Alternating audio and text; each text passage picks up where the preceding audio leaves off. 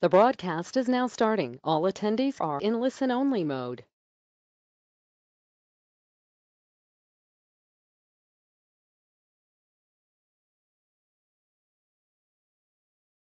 ¿Qué tal? Buenos días a todos. Muchas gracias por su tiempo, muchas gracias por acompañarnos en un webinar más. Eh, el día de hoy estaremos eh, tomando el tema de la actualización del portafolio de Extralis y para eso nos acompaña Oscar Salazar, eh, gerente de ventas de Extralis para México, Centroamérica y el Caribe.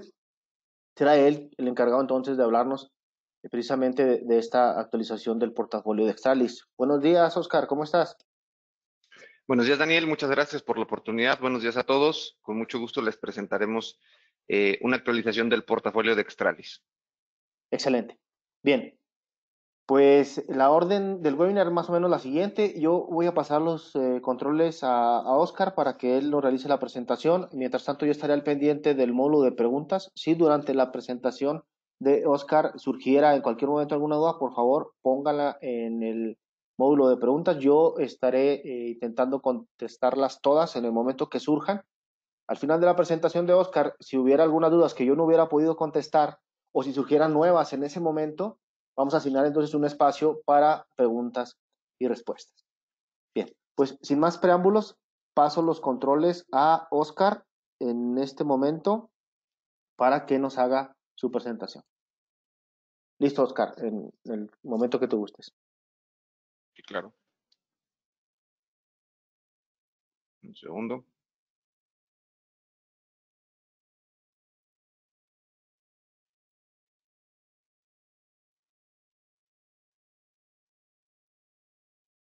Creo que ahí ya pueden verlo, ¿no?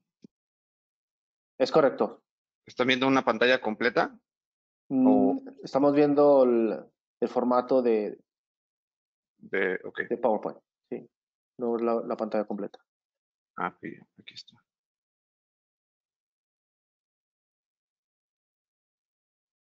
Ahora sí se ve la pantalla completa, ¿no? Listo, ahí está. Ya tenemos pantalla completa y audio. Adelante. Ok, un segundito.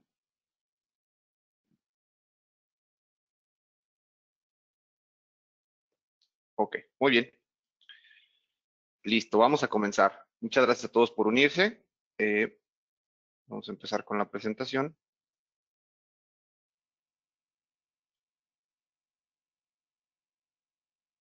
Listo. Bien, eh, mi nombre es Oscar Salazar. Yo estoy encargado de la región de México, Centroamérica y el Caribe en Extralis. Eh, damos muchas gracias a Ciscom por permitirnos esta ventana de tiempo con ustedes para poder presentar una actualización del portafolio de la familia de Extralis. Eh, tenemos un poco de tiempo hoy nada más para presentarlo porque iremos viendo ciertos puntos más importantes de, las, de la presentación y eh, pues son bienvenidas sus, sus, preguntas. Eh, bien, uh, iniciando con esto, les quiero platicar. ¿Dónde está esta parte?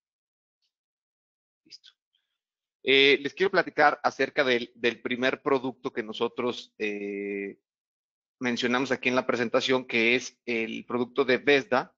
Eh, como ya hemos visto en algunas presentaciones aquí, eh, quiero ubicar a Vesda en una cancha o en una este, área muy importante de la cual nosotros hablamos que es la etapa de fuego incipiente, es decir, donde nace el humo en, un incendio, ¿no? donde apenas es, es menos denso, donde está menos concentrado y donde apenas va a expandirse en un lugar.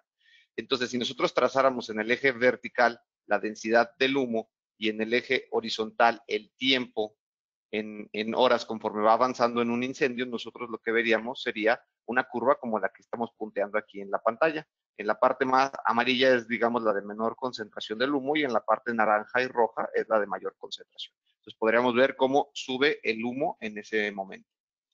Eh, entonces, eh, lo que nosotros tenemos aquí es eh, una división de las áreas de cómo se concentra el humo. La primera se llama incipiente, la segunda se llama humo visible, que es donde interactúan todos los detectores por dispersión de haz de luz, como los fotobeams o los detectores convencionales. Eh, y de esa forma eh, podemos eh, catalogarlos en esa parte, ¿no? Donde ya tenemos exactamente un humo visible y que una concentración hace que se obstruya un haz de luz.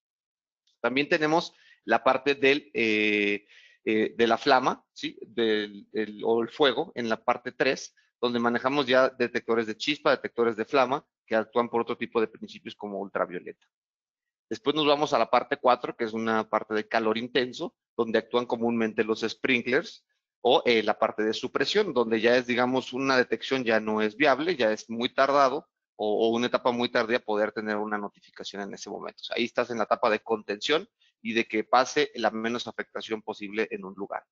Entonces, eh, es importante ver que, que Vesda se encuentra en una cancha o en una, en una parte donde eh, es muy, muy ligero el humo todavía en cuestión de su concentración. Es decir, nosotros tenemos una percepción ni siquiera visible del humo y ahí es donde Vesda puede actuar, donde Vesda puede detectar esa parte. Entonces, este, nosotros, digamos, con Vesda estamos oliendo el aire y diciendo que hay una, una concentración de humo tal que puede eh, convertirse en un incendio si no, si no lo mitigamos en un punto en específico.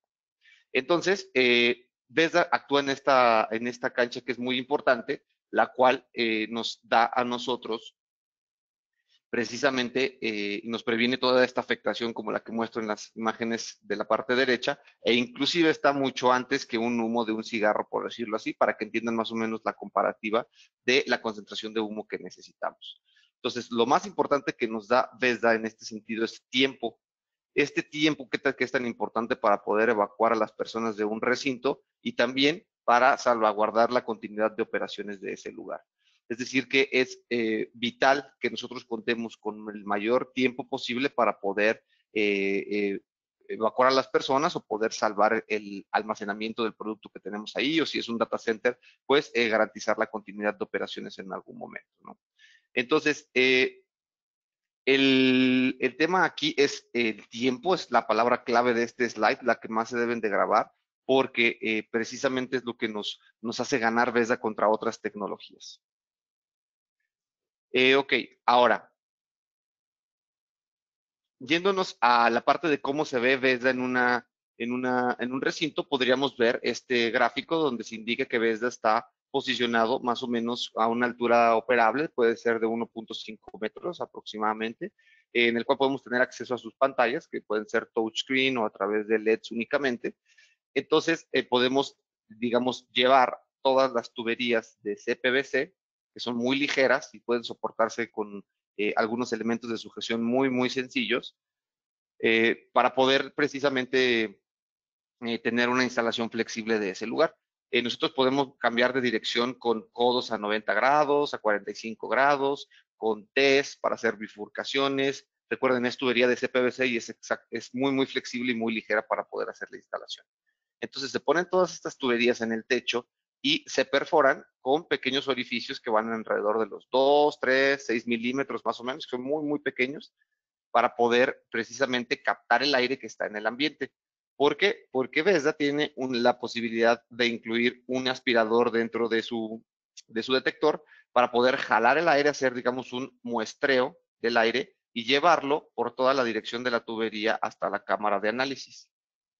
Entonces podemos ver aquí que, podemos jalar el aire haciendo un muestreo en un punto muy remoto y trasladarlo hacia la cámara de detección para poder decidir si hay incendio o es eh, una falsa alarma. Ahora, eh, nosotros jalamos el aire por estos pequeños orificios. Aquí estoy haciendo un ejemplo como con un humo que está en este, contenido en este lugar y podemos llevarlo a analizar esa cámara de análisis. Estos dispositivos están contenidos en la NFPA 72 en el punto que les indico aquí, ¿sí? Y nos dice que cada puerto de muestreo, como el que yo les estoy haciendo mención en esta diapositiva, debe ser tomado como un detector puntual en cuestiones de, dimensionamiento, ubicación, espaciamiento. Es decir, cada puntito de estos que ustedes están viendo aquí cubre el área de 81 metros cuadrados, ¿sí? En una detección estándar. Eh, y se debe de tomar exactamente igual que, un detector puntual. Es decir, este puntito que nosotros vemos aquí marcado en color rojo es igual a un detector convencional puntual. Con las ventajas que ya les comenté. Evidentemente es muy ligera su montaje en el techo, no lleva componentes electrónicos en el techo y además tiene una detección muy temprana. Recuerden las dos áreas donde jugaban la etapa incipiente y la etapa de humo visible, pues Vesda juega en la etapa de eh, incipiente. donde tenemos una concentración de humo mucho menor y por lo tanto tenemos más tiempo para reaccionar. Son equipos que están aprobados por UL y por FM, entonces los hace muy adecuados para instalaciones que tenemos eh, aquí en nuestra región del país. Entonces, si nosotros viéramos una imagen en cuestión del oscurecimiento hacia el fondo, es decir, que nosotros estuviéramos viendo esta área industrial donde eh, quisiéramos medir el oscurecimiento que tendríamos con la, a simple vista, podríamos ver algo similar a lo que les muestro aquí en la pantalla. Eh, en la parte derecha está un 2% de oscurecimiento por pie, es decir, que en un pie de distancia se, oscurece un 2% la visibilidad. ¿Sale? Entonces, nosotros tendríamos que en la cancha del 2% es más o menos donde están los detectores convencionales, este, photobeams o detectores de dispersión de haz de luz. Entonces, nosotros veríamos algo así, que se ve un poquito borrosa la imagen de la parte de atrás, o más bien muy borrosa ya, eh, y tendríamos esta, este oscurecimiento, ¿no? Perderíamos esta visibilidad. Si nos vamos segmentando y vamos brincando hacia ciertos porcentajes de visibilidad y bajamos 50%, 75%, este, a llegar hasta un punto donde eh, tenemos una menor concentración de humo, donde de verdad no, no podremos distinguir a simple vista si tenemos humo presente o no lo tenemos, tendríamos un 97% de visibilidad, que más o menos pues, prácticamente es igual para tener el 100% a, a, nuestros ojos humanos. Y esto puede caer en una sensibilidad de detección de humo de un 0.05% de oscurecimiento por pie, lo cual BESDA es posible, eh, eh, lo cual es, es, posible que BESDA lo logre, ¿no? Inclusive todavía más, un 0.0015% de oscurecimiento por pie en los nuevos detectores, es posible que pueda tener esa sensibilidad lo cual pues le da todavía más tiempo de reacción porque puede detectar en una etapa todavía más temprana el humo. ¿Vale? Entonces, eh, es importante hablar del primer producto, de la primera actualización de equipos que les quiero mencionar, que es el Aspire 3. Hoy en día, eh, ustedes conocerán que nosotros tenemos el software de diseño Aspire, para todo lo que es eh, el diseño de tuberías, cálculos eh, de, caudales, etcétera, etcétera. Pero hoy en día está la nueva versión que es el Aspire número 3. Este es un software de descarga gratuita en la página de extralis.com, lo pueden descargar, aunque sí necesitan un curso para poder operarlo y para poder diseñar con él. Este software es muy interesante porque nos permite crear diseños en isométrico, diseños en 3D, donde pues, nosotros podemos posicionar las tuberías y cambiar de dirección conforme al recinto que tenemos, es decir, que suba 3 metros, que dé a la derecha 5 metros, que dé hacia la izquierda 30 eh, metros, etcétera, etcétera. Y podemos posicionar los puntos de muestreo y nos hace un cálculo para saber si todos los parámetros que estamos poniendo están de acuerdo. Inclusive nos dice de qué tamaño tenemos que perforar esa tubería para tener el, flujo necesario para que el detector funcione. Entonces, hay dos cosas que yo considero muy importantes que nos entrega este software. La primera de ellas es que nos da una, un cálculo de materiales, es decir, que nosotros ponemos todos estos cambios de direcciones, todas esas longitudes de tuberías y nos da una, un cálculo de todos los materiales que utilizamos, cuántos codos, cuántas T's, cuánto, cuánta tubería, qué detector pusimos, cuántas tuberías estamos utilizando, etcétera, etcétera. Entonces eso te lo da en un calculador y eso lo puedes pedir a cotizar al distribuidor que, estés utilizando. En este caso, con pasarle esta hoja a Syscom, pueden ellos este, cotizar rápidamente a ustedes todos los, los, dispositivos necesarios para un proyecto. Entonces, eh, la otra cosa que nos da muy importante es el cálculo de que ese sistema va a funcionar si se sigue la instalación conforme a las recomendaciones eh, precisas de ese software. Entonces, si nosotros vamos a, un sitio y seguimos esa receta, por decirlo así, ese es el listado que nos está entregando, podemos garantizar que el diseño va a funcionar. Y esto se puede incluir en las hojas de cálculo o en las, eh, en las carpetas de diseño que ustedes vayan a hacer hacia sus usuarios finales o si son, usuarios finales, e, es algo que ustedes deben requerirle a los integradores para saber que ese, eh, este diseño va a trabajar correctamente cuando ya hagan la compra y la instalación. Entonces, es un eh, software que está aprobado por estándares eh, mm, pues de, alta envergadura en el mercado. Si puedes poner tu, el estándar de la NFPA 72, este estándar UL, para poder hacer los cálculos del tiempo de transporte de aire hacia el punto de muestreo, lo cual está regulado. En el caso de la detección estándar, está regulado por un tiempo de transporte de aire máximo de 120 segundos desde el punto eh, final del muestreo, como el que estoy indicando aquí, ¿sí? Hasta el punto de detección, que es donde estaría el BESDA. Entonces, todos estos cálculos te permite ponerlos el Aspire y es muy, muy ilustrativo el hecho de esas dos hojas que te estoy mencionando de lo que les entrega para poder eh, integrarlo a una cotización o a una carpeta de diseño. Ok, ahora, eh, hablando específicamente de los productos de Vesda y cómo están hoy en día la familia de productos en cuestión de los em, retrofits que hubo, de las nuevas generaciones de Vesda que hay, este, y cómo, cuáles de las generaciones antiguas todavía permanecen en el mercado, cuáles ya salieron, les quise poner aquí esta gráfica, en la cual si nosotros vemos en el eje vertical la cantidad de puntos de muestreo y en el eje horizontal la cantidad de metros cuadrados que cubre cada dispositivo, quedaría algo como lo que les voy a mostrar aquí. La primera familia de detectores que nosotros teníamos, bueno, no la primera, sino la anterior, se llama Vesda Láser. Probablemente a muchos les, suene esta familia. Eh, funcionaba con una cámara láser dentro de su detección y se ve de la siguiente manera. El, detector más pequeño que tenemos hoy en día es el detector Vesda Laser Focus para 250 metros cuadrados.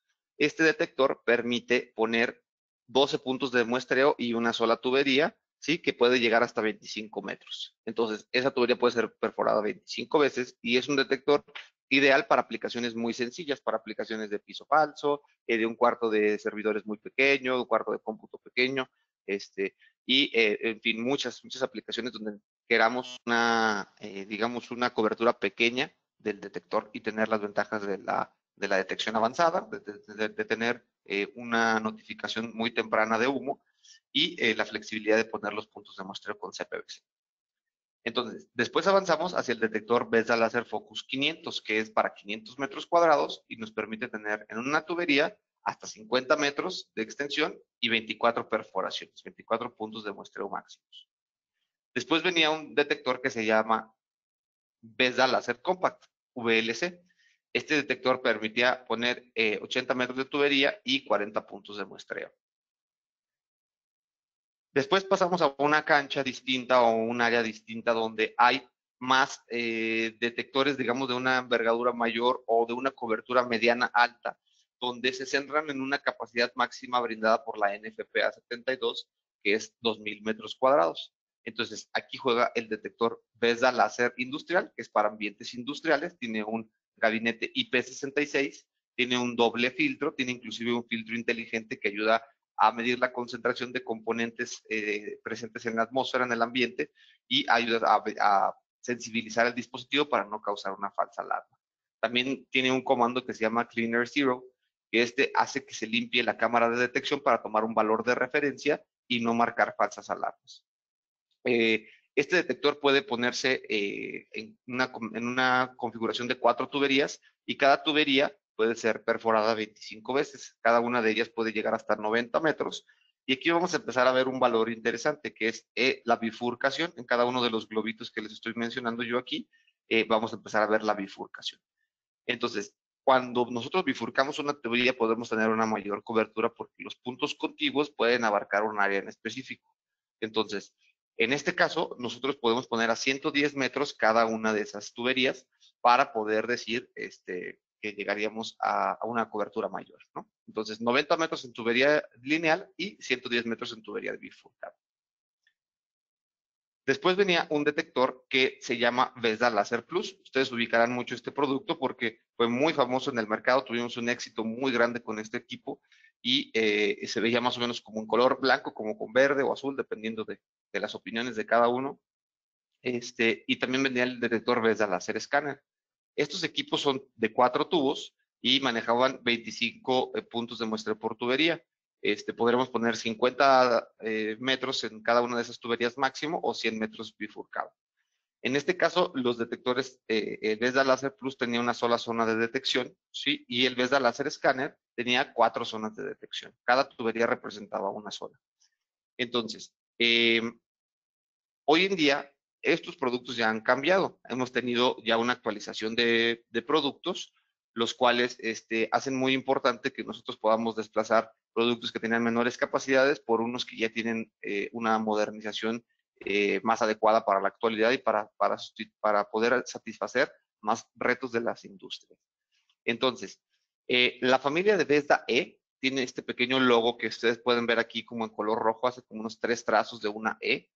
Esos dispositivos son de la nueva generación y vienen a sustituir algunos productos de las generaciones anteriores. La primera característica que tienen estos equipos es que tienen una cámara FLARE patentada. Es decir, ya no manejan la, única tecnología láser que se utilizaba anteriormente, sino que ya hacen una combinación de tres parámetros para garantizar que tengamos una verdadera alarma y no una falsa alarma. El primero de ellos es una dispersión de un láser que se utiliza para medir la deformación de ese láser cuando entran las partículas en la cámara de detección. El segundo de ellos es la, eh, un imager CMOS, similar al que tienen las cámaras de video, que nos permite poder medir el tamaño de la partícula, la forma, el color y la cantidad de partículas que hay en un lugar en específico. Entonces, esto nos da otro segundo parámetro de eh, discriminación de alarma o falsa alarma.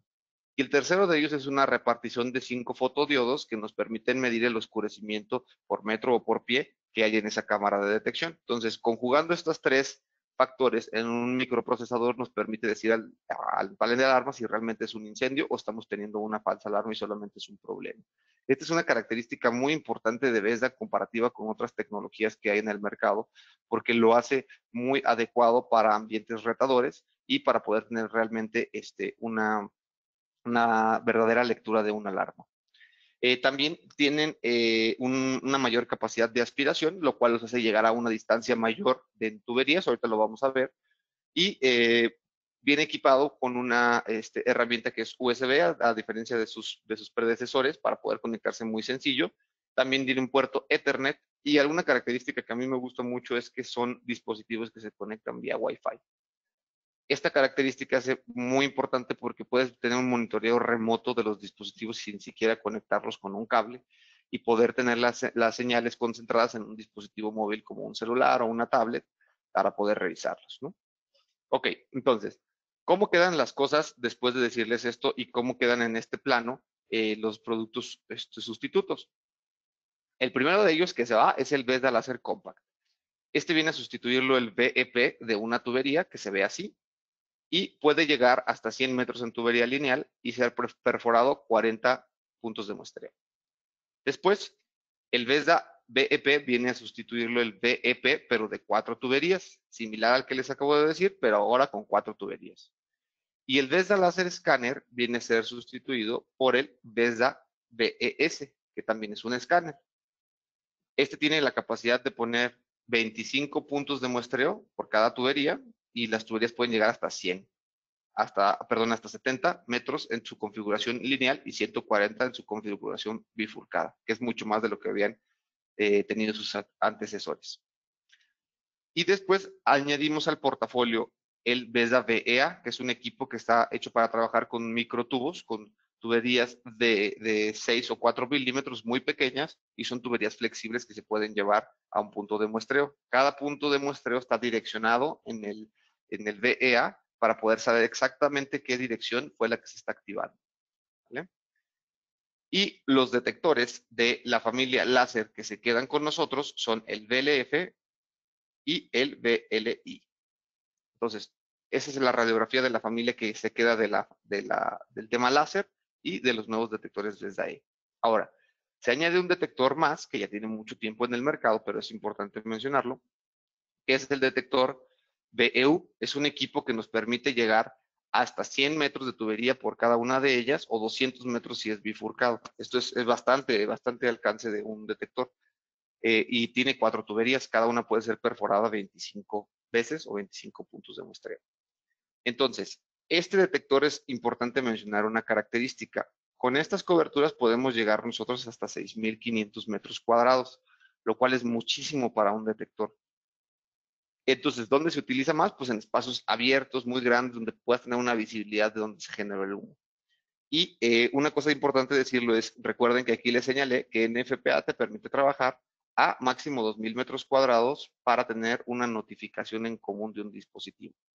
Cuando te pasas de esa característica, estás incumpliendo la NFPA 72, pero si el cliente eh, eh, o la autoridad con jurisdicción puede permitir una adición de metros cuadrados para dejar fuera ese cumplimiento, se puede utilizar el detector BEU en una mayor cobertura en metros cuadrados, hasta 6.500 metros cuadrados en su valor teórico.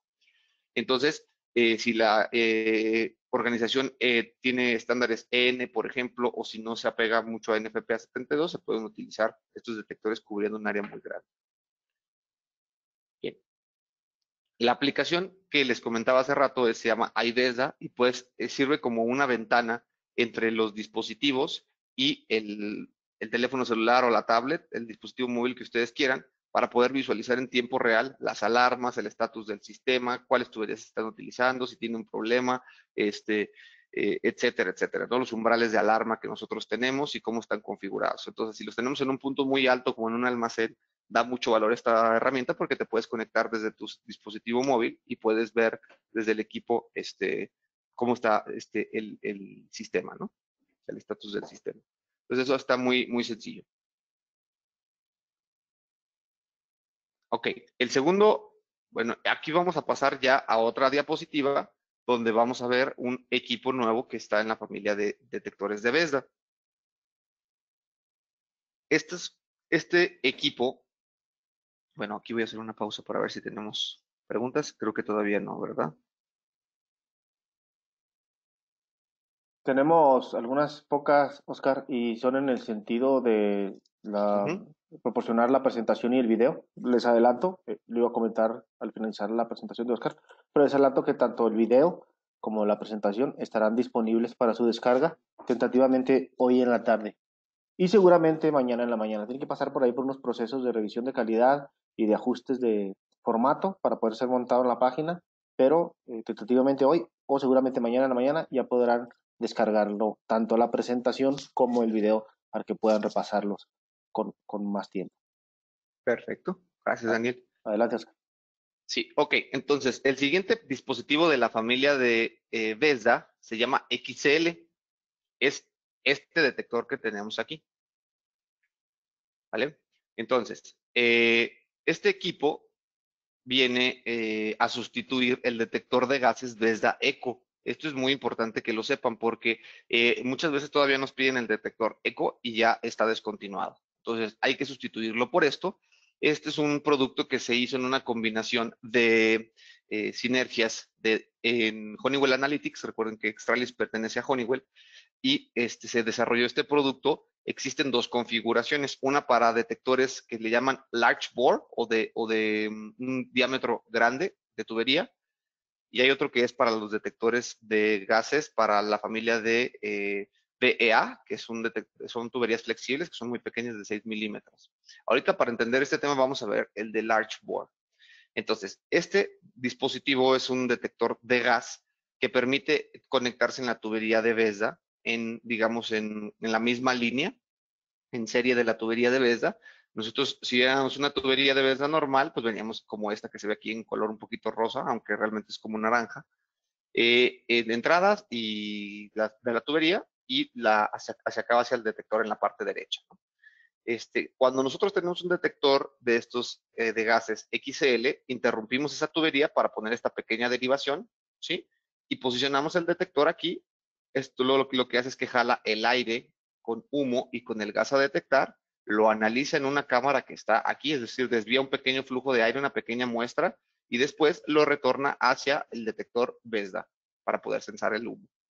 Entonces, Aquí nosotros tenemos una detección de gas en este punto y es muy importante para eh, precisamente en aplicaciones donde tengamos una detección remota. Esto a mí, la verdad, me gusta mucho esta aplicación, donde nosotros tenemos, digamos que esta área, que es un área peligrosa, un área de difícil acceso, toda el área que está sombreada en gris, eh, y aquí es donde queremos nosotros cuidar las emisiones de gas en algún punto lo que hacemos es introducimos la tubería de CPVC o inclusive tubería de acero inoxidable si el ambiente lo, requiere, para poder tener una aspiración del gas en ese punto de muestreo, al igual que aspiración de humo, recuerden, y transportar todo ese gas hacia la cámara de detección del XL y de ahí seguir hacia el detector BESDA.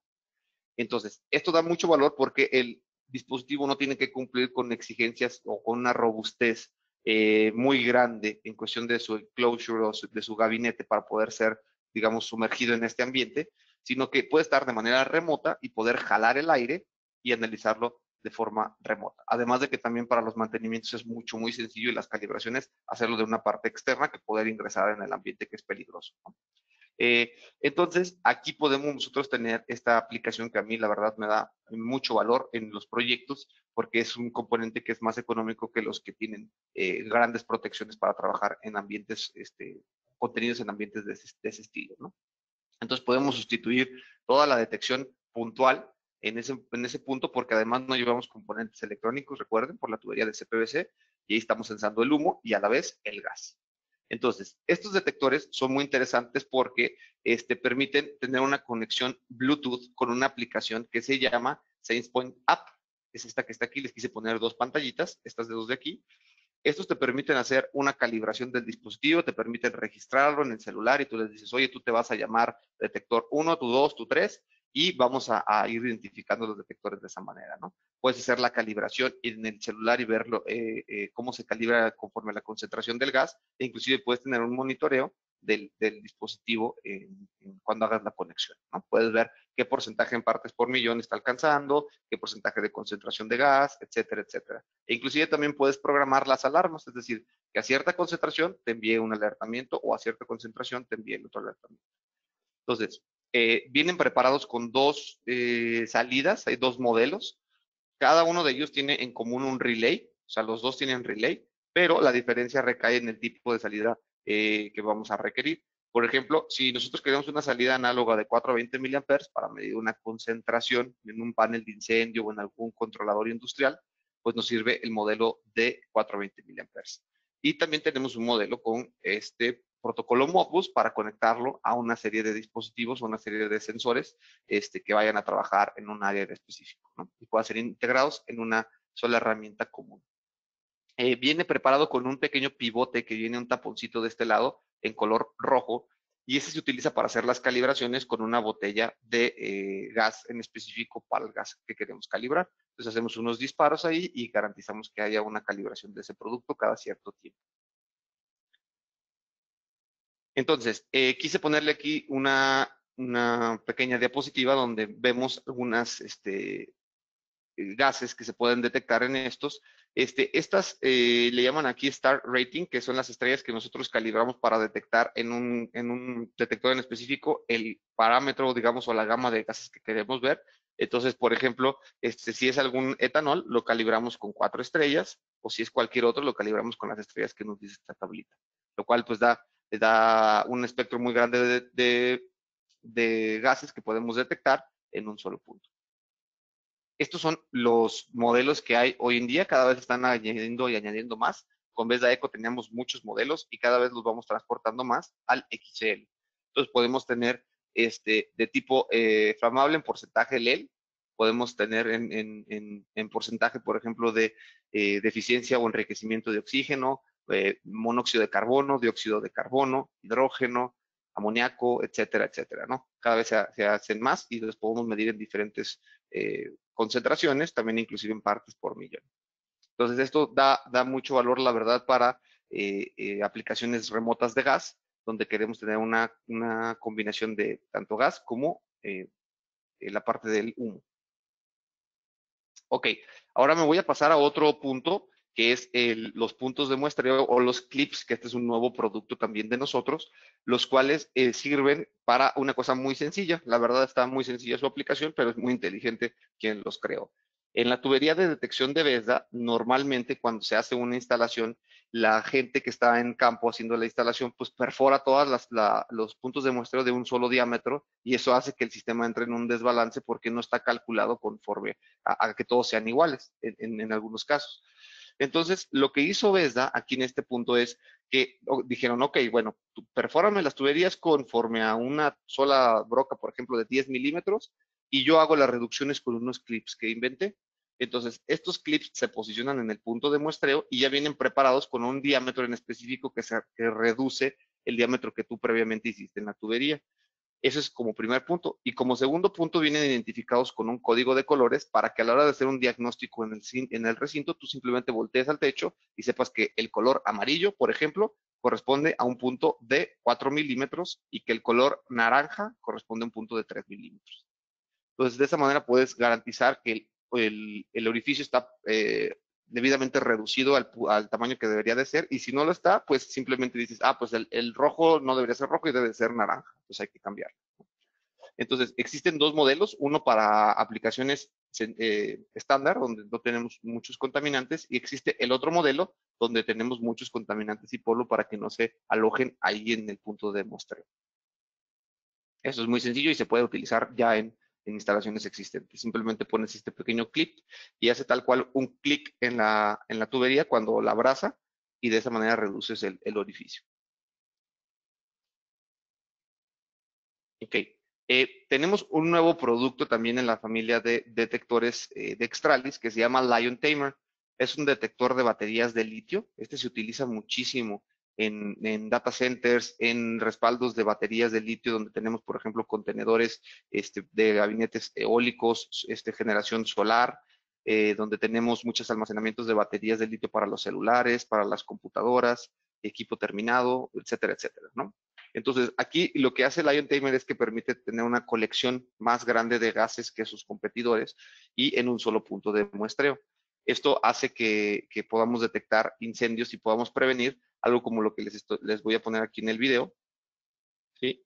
donde se ve que hay una pequeña emisión de humo y cómo súbitamente cambia a un chispazo de esa manera y cómo se contagia tan rápido hacia la parte de atrás eh, por el hecho de que las baterías de litio van, van contaminando las otras y van teniendo una flamabilidad muy alta.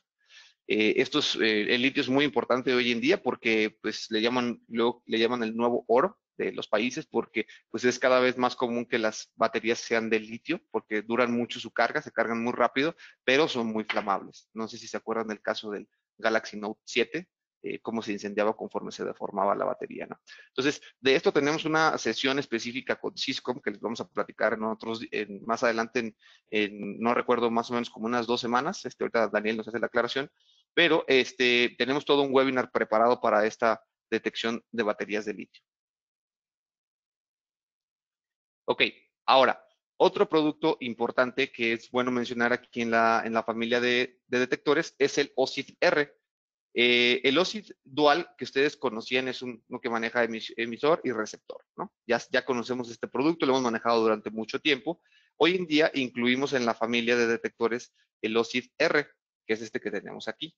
Viene a sustituir el BIM 1224 de System Sensor y maneja un espejo reflejante que es exactamente el mismo que el BIM 1224 y tenemos un emisor y receptor en el mismo punto, es decir, que hay unas de luz infrarrojo que choca en los cuadrantes que tiene el espejo y regresa para ser sensado. Eh, algo muy interesante de, esto, de este producto es precisamente que maneja una, una, un acomodo o digamos una, una orientación muy sencilla como las que les muestro yo aquí en la parte derecha, ¿sí? El cual tú des, eh, destrabas este ocular, ¿sí? Y lo vas moviendo con, con la mano conforme apunta al, al, otro lado extremo de la sala o del almacén o de la nave industrial. Y simplemente hay un indicador en LEDs que te va parpadeando y te dice hacia dónde tienes que mover el ojo para poder alinearlo de manera sencilla. Yo he hecho alineaciones en 15, 20 segundos, es la verdad muy, muy sencillo, a diferencia de su predecesor. Este, y pues viene a sustituir y a, robustecer esta familia de detectores OSI. Eh, la máxima distancia que podemos ponerlo es a, a 100 metros eh, y maneja este, pues esta tecnología a través de infrarrojo. ¿no? Tiene un algoritmo eh, para la obstrucción de cada uno de sus cuatro cuadrantes para poder identificar si es una alarma o es una falsa alarma. También de esto tenemos un webinar en específico con Cisco más adelante que les vamos a platicar y vamos a extendernos mucho, mucho en este tipo de, aplicaciones y vamos a mostrarle muchas fotos, este, videos y cómo funciona más a detalle este producto.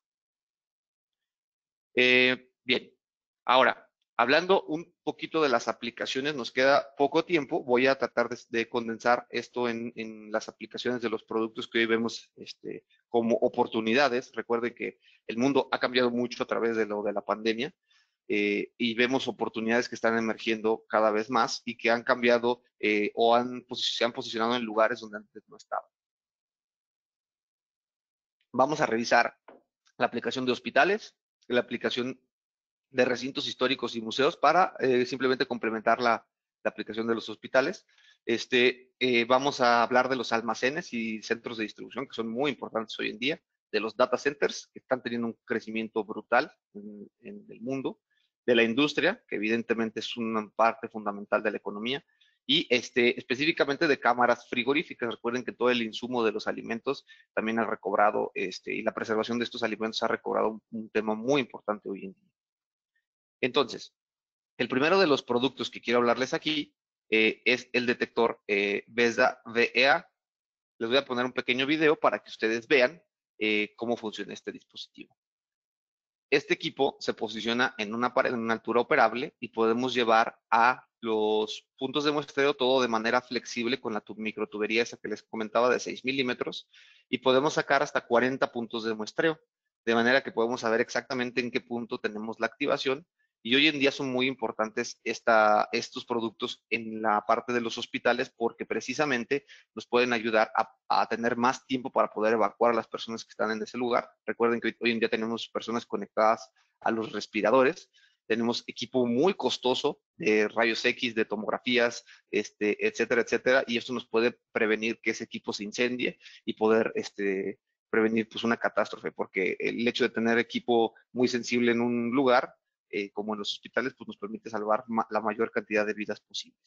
Entonces se ha vuelto un tema muy, muy importante en hospitales y el hecho de que tengamos una detección avanzada, a diferencia de una detección puntual, hace que, que todos los hospitales volteen a ver este tipo de, productos. Entonces podemos discernir entre qué punto es el que se está activando y poder tener mayor tiempo para evacuar a una persona. Recuerden que están eh, muchas veces en camillas y no se pueden mover de manera sencilla. Hay que, hay que evacuarlos por unas rampas en específico.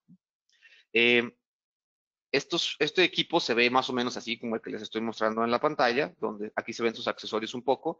Estos son los puntos de muestreo de plafón.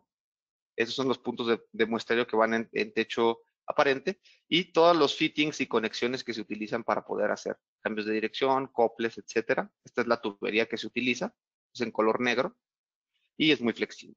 Entonces, nosotros veríamos en un plano algo así, donde tenemos el detector y desde aquí vamos hacia cada una de las ramificaciones, cada uno de los puntos. Recuerden, cada punto es una única manguera, ¿no? Entonces, no es como la tubería rígida que se va bifurcando. Es una única manguera y va llegando a, cada punto de muestreo.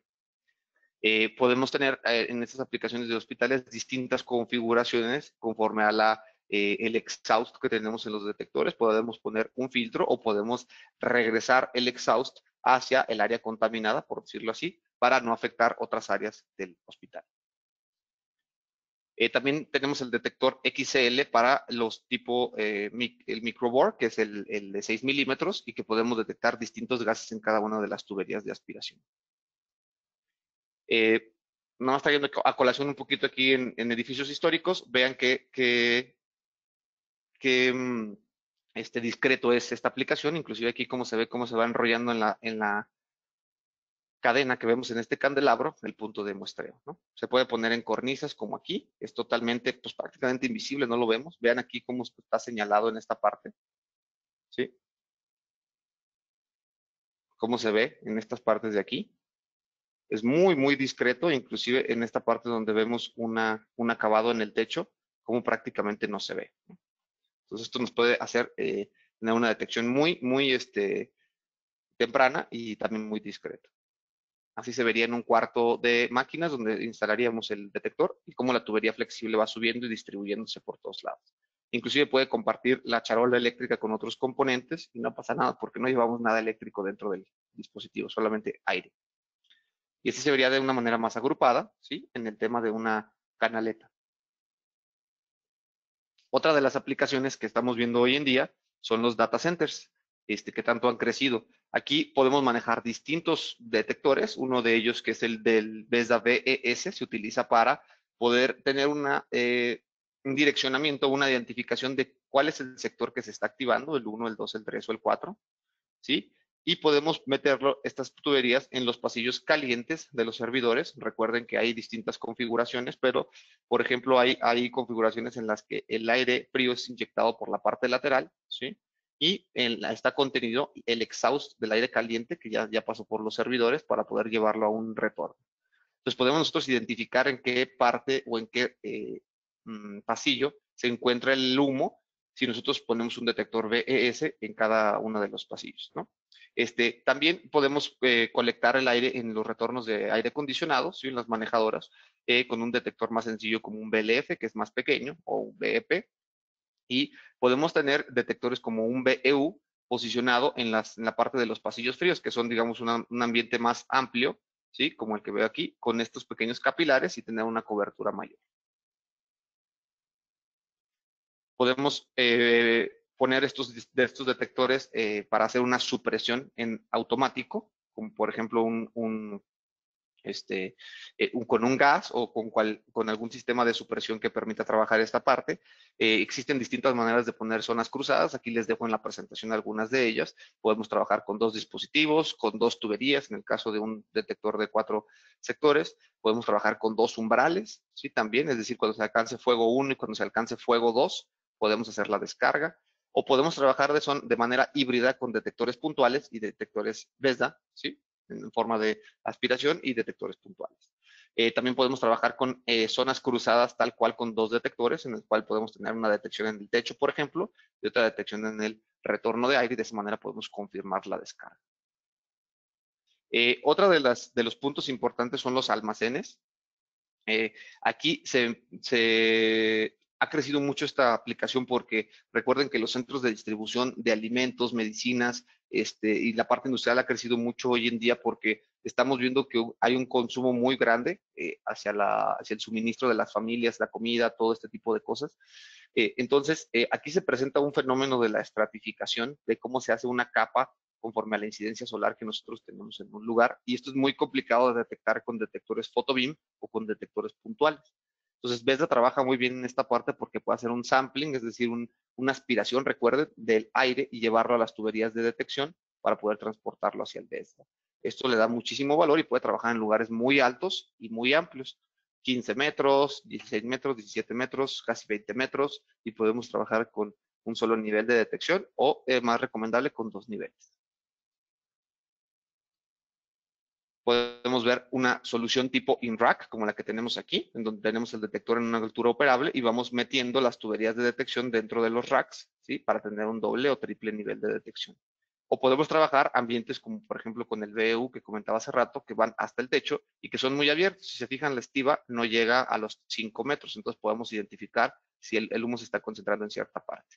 También en este caso de éxito que tuvimos, vean cómo tenemos una solución in-rack, donde tenemos perforaciones en el techo e inclusive también nos metemos dentro de, las de los racks para tener una detección dentro del mismo rack. En el caso de OSIT podemos tener eh, coberturas muy largas, por ejemplo, con el OSIT dual, que son este, hasta 150 metros, o este, con el OSIT-90, que permite poner hasta 7 emisores por cada receptor. Podemos cubrir arquitecturas complejas como la que mostramos aquí, ¿sí? en la cual tenemos ciertos pasillos y tenemos un área, digamos, más libre y poder todas las señales centralizarlas en un solo punto de recepción, que es el eh, imager. Entonces podemos cubrir un abanico más completo. En entornos industriales eh, tenemos estas aplicaciones con el detector BLI, en la cual podemos trabajar eh, con polvo suspendido en el ambiente, como esta aplicación de algodón, con agua en esta aplicación de las barricas, ¿sí? O en túneles en lugares muy muy sucios como este y podemos tener trampas de condensados o trampas de polvos como las que vemos aquí y un segundo nivel de filtrado para afectar lo menos posible al detector. Además, recuerden que el mantenimiento se realiza de manera muy sencilla, únicamente e inyectando aire en un sentido contrario durante uno o dos minutos a la tubería para poder purgarla, por decirlo así. Entonces, nunca se tienen que subir a dar un sopleteo en el punto de muestreo, más que hacer un sopleteo eh, en el punto donde está instalado el BESA. En los gabinetes eléctricos podemos encontrar los, em, los puntos de muestreo del detector BEA, e inclusive pueden ir enterrados, pueden ir por la parte de abajo en, un control y poder tener la direccionabilidad de cada gabinete y saber exactamente qué gabinete se está incendiando conforme a la manguera que estamos introduciendo. En las cámaras frigoríficas también podemos trabajar con detectores de nosotros, este puede ser el BEU, puede ser el detector BLI, y hacemos un arreglo de una trampa de condensados para poder separarlos. Tenemos unos puntos de muestreo en específico que permiten que no se eh, congele el punto de detección y eh, podamos tener un arreglo con una tubería flexible como la que tenemos aquí. Cuando es muy frío el ambiente, tenemos este, que hacer un arreglo de un arco de frío y una trampa de condensados para poder eh, calentar el aire un poco antes de que llegue al detector y no dañarlo. Entonces, eso sería a grosso modo el webinar que tenemos el día de hoy. Eh, es mucho por abarcar y muy poco el tiempo, pero eh, quisiera abrir un pequeño espacio para sus preguntas y, poder responder sus inquietudes. Este, si no hay el espacio aquí, podemos este, recibir sus, solicitudes a través de los contactos que les estoy poniendo aquí en la pantalla, que son nuestros amigos de Syscom, para que puedan hacerle llegar cualquier inquietud. Entonces, eh, damos un tiempo para las preguntas. Muchas gracias, Oscar. Excelente la presentación. Este, como mencionaste, vamos a tener oportunidad en las próximas semanas de tener webinars más específicos por solución. Específicamente tenemos el próximo webinar en cuanto a la solución de OSI el jueves 18 y en cuanto a la detección de, para las baterías de litio está programado para el viernes 21 de ambos en este mismo en este mismo mes. Bien, eh, tenemos por aquí algunas eh, preguntas. Eh, nuevamente, para todos los que solicitan la presentación y el video, eh, comentarles que estará disponible para su descarga tentativamente hoy en la tarde o mañana en la mañana a través de la página de SICOM en el apartado de webinar, ya saben. Eh, y tenemos por aquí algunas interesantes. Nos preguntan si hay algún límite o alguna limitación en cuanto a la altura de la tubería. ¿Alguna consideración que se va a tener, alguna limitante? Sí, buena pregunta. E, estos la NFPA 72 nos regula, digamos, la altura de lugares más comerciales de donde tenemos que poner los puntos de muestreo. Recuerden que al pensar en tubería, estamos pensando en un punto de detección, al igual que un, detector puntual, ¿no? Entonces, eh, comúnmente las, las tablas o digamos los valores más comerciales llegan a alturas entre 6 y los 9 metros, más o menos, y de ahí arriba ya no es tan sencillo o no viene tan contenido en una normativa. Eh, pero si te dice lo siguiente, cuando tengas una condición especial debes de hacer un diseño basado en desempeño, es decir, que debes de hacer pruebas, debes de hacer mediciones, debes de, incluir muchas variantes como la incidencia del aire acondicionado, los cambios de aire por hora que tienes, la estratificación que tienes por, eh, por la incidencia solar. Entonces, nosotros hemos hecho pruebas de, en almacenes aquí en México que tenemos, digamos, una incidencia solar muy alta, más o menos como a las 11 de la mañana ya lo estamos viendo estratificación. Entonces, hemos hecho pruebas alrededor de los 12 eh, metros de altura más o menos y hemos garantizado un tiempo de detección de humo alrededor de los 30 segundos hasta los 52 segundos más o menos. Este, obviamente depende de cada lugar y de cada condición, pero la realidad es que es un tiempo de respuesta pues, rapidísimo contra un fotobeam o contra este, detectores puntuales que ya ni siquiera aplican en esa altura. Entonces podemos tener, eh, inclusive trabajándolos hasta 15 metros, este, con una sola zona de, con una sola nivel de detección, aunque lo recomendable es poner distintos niveles de detección. Esto inclusive sí lo menciona la NFPA 72. Perfecto, gracias. Eh, tenemos otra eh, relacionada eh, más o menos en ese sentido eh, y es hace referencia a que si existe alguna área en la que definitivamente no se recomienda utilizar aspiración o, o BESDA.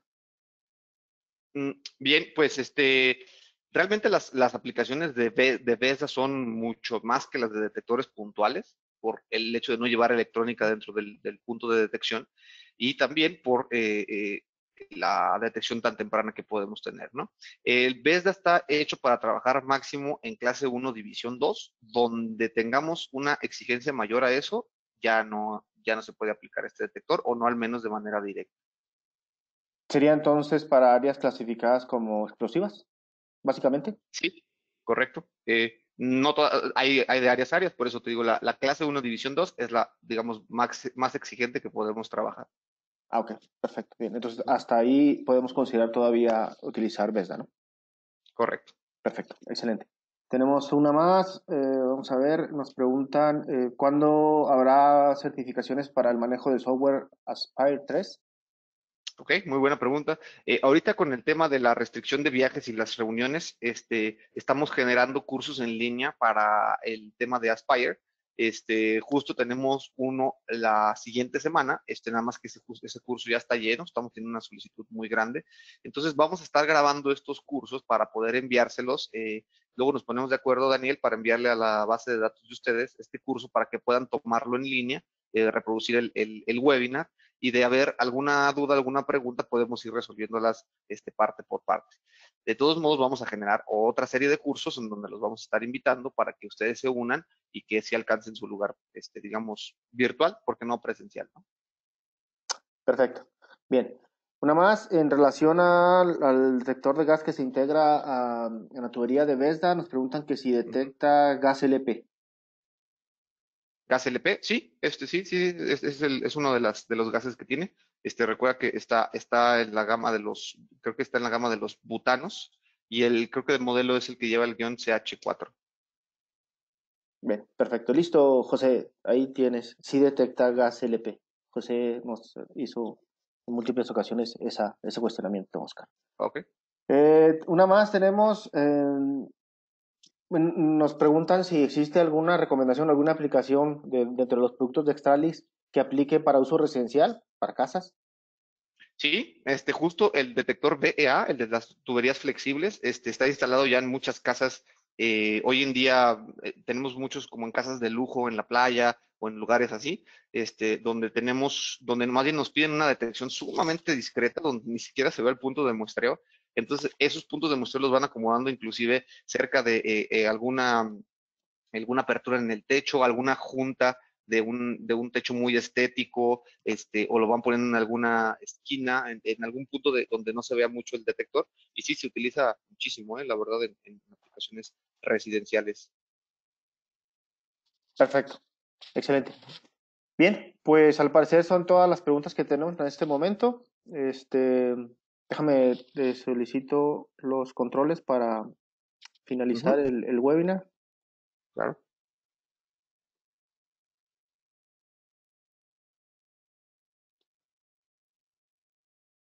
Listo, bueno, pues eh, al parecer no hay más preguntas. Agradecemos a todos su tiempo y su participación.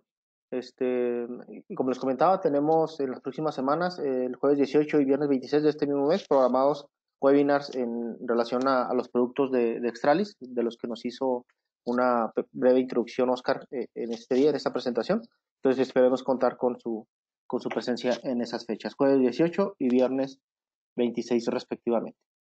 Eh, bien, pues no me queda más que agradecer nuevamente su tiempo y esperar contar con su asistencia a la próxima, la próxima presentación. Muchas gracias, Oscar. Y gracias a todos.